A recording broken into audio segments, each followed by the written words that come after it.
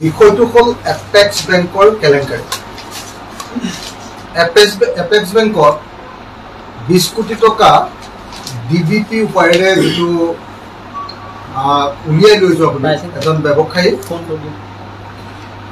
ৰাজেশ বাজাজ নামৰ এজন ব্যৱসায়ীয়ে উলিয়াই লৈ যোৱা বুলি যি খবৰ ইতিমধ্যে সংবাদ মাধ্যমত প্ৰচাৰ হৈছে।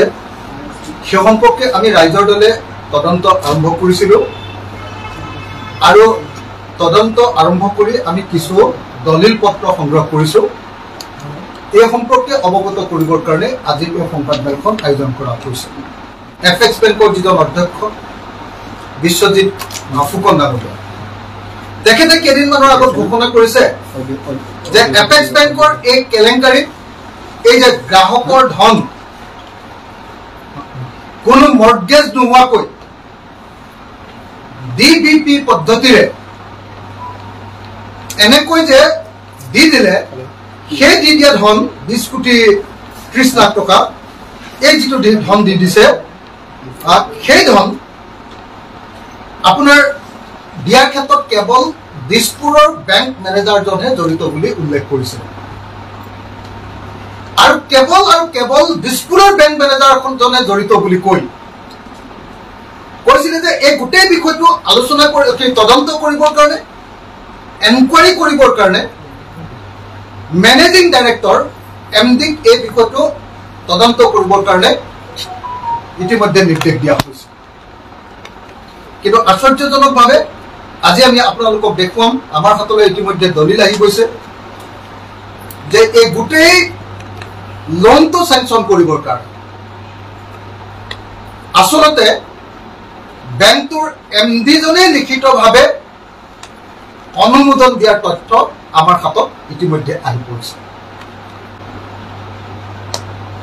অৰ্থাৎ অধ্যক্ষ বিশ্বজিৎ ফুকন ডাঙৰীয়াই যিজন মানুহক তদন্ত কৰিবলৈ দিম বুলি কৈছিলে এই অভূতপূৰ্ব বেংক কেলেংকাৰী। সেই মানুহজনৰ এইটো আপোনালোকে চাওক এইটো north east planters plantation and commercial private limited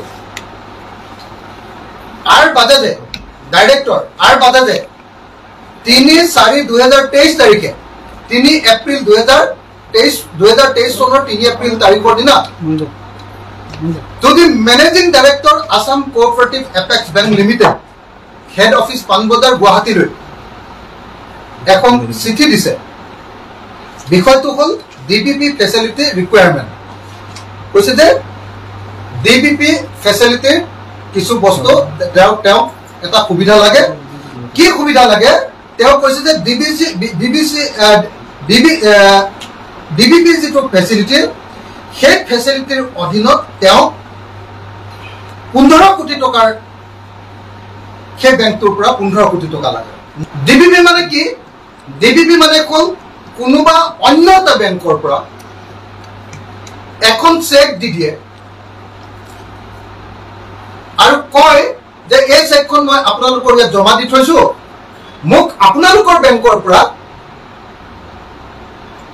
এই পইচাখিনি দি দিব লাগে।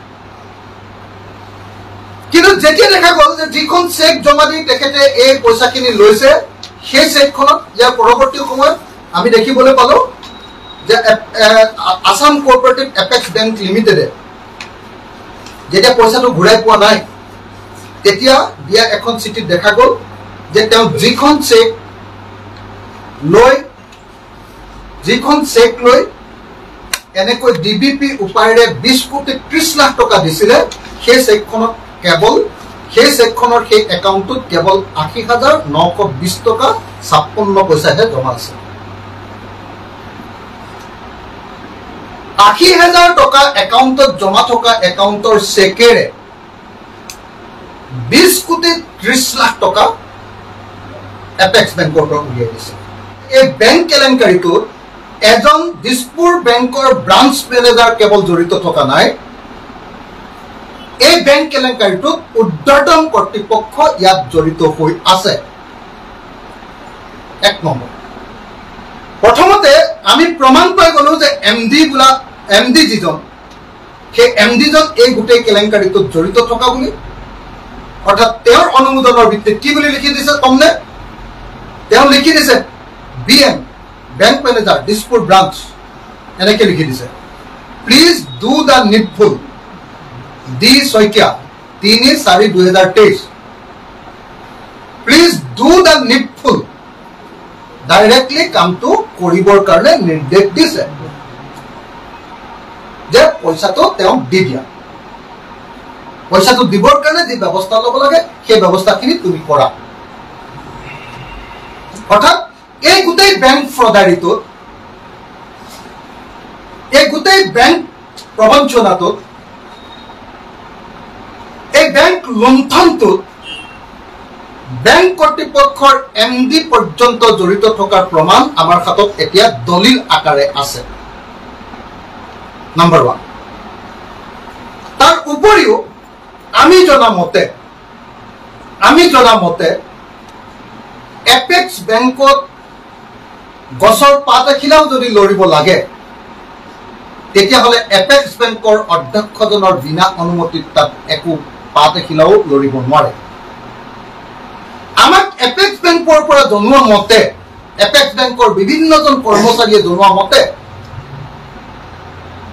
অধ্যক্ষ বিশ্বজিৎ ফুকনে নকলে পিয়নে বহি থকা যিখন বেঞ্চ সেই বেঞ্চখনৰ ধূলিও তাত কোনেও মচিব নোৱাৰে।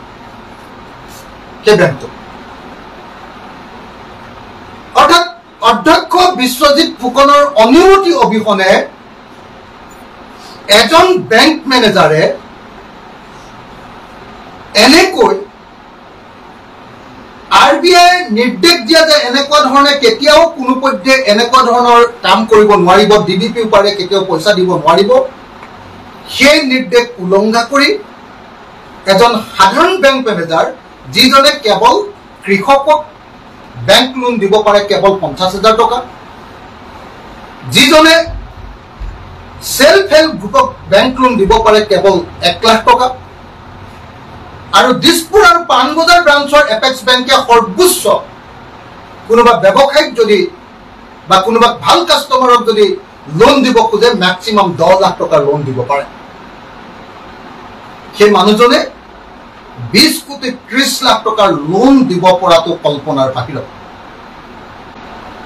এতিয়া আমিতো পাই গলো প্ৰাইমেৰী চ'ৰ্চৰ পৰা পাই গলো যে এই লোনটো চেংচন কৰিবৰ কাৰণে এম ডি এ ইয়াতে লিখিতভাৱে দি থৈছে প্লিজ ডু দ্য নিডফুল বুলি মেনেজাৰলৈ লিখি দি থৈছে। গতিকে ঘটনাটোত যে এম ডি জড়িত ইয়াৰ প্ৰাইমেৰী চ'ৰ্চৰ পৰা পোৱা তথ্যই এইটো প্ৰমাণ কৰিলে। এতিয়া আন কিছুমান তথ্যই আমাক আমি পাইছো যিবিলাক তথ্য মতে আমি জানিব পৰা মতে এই গোটেই কেলেংকাৰীটোত প্ৰকৃত পক্ষে জড়িত হৈ আছে। গোটেই পইচাটোৰ চেংচনৰ ক্ষেত্ৰত প্ৰকৃত পক্ষে জড়িত হৈ আছে বেংকটোৰ অধ্যক্ষজন নিজেই। আমি জনামতে আমাক জনোৱা হৈছে যে এম ডিক ফোনযোগে নিৰ্দেশ দিয়া হৈছে বা মৌখিকভাৱে নিৰ্দেশ দিয়া হৈছে যে এই এই ডি বি পি উপায়েৰে এই পইচাটো দিব লাগে। এইবুলি আমাক জনোৱা হৈছে। আমি প্ৰাইমেৰী চ'ৰ্চৰ পৰা এইখিনি খবৰ ইতিমধ্যে লাভ কৰিছো। গতিকে কথাখিনি হয় নে নহয় যে অধ্যক্ষজনেই এই গোটেই কেলেংকাৰীটোত জড়িত আছে নে নাই এই কথাটো প্ৰমাণ কৰিবৰ কাৰণে এম ডি এ কেতিয়াও তদন্ত কৰিব নোৱাৰে। এই কথাটো তদন্ত কৰিবৰ কাৰণে একমাত্ৰ সঠিক তদন্তকাৰী গোটটোৱে হ'ল C B I. C B আইকে কেৱল এই ঘটনাটোৰ প্ৰকৃত তথ্যখিনি আহৰণ কৰাটো সম্ভৱপৰ হয়। সূৰ্যত উত্তাপ বিচাৰি আমাৰ যাত্ৰা। চন্দ্ৰৰ পোহৰৰ দৰে আমি দিম স্বচ্ছ বাৰ্তা। আপোনাৰ মঞ্চ, আপোনাৰ কণ্ঠ চানমুলক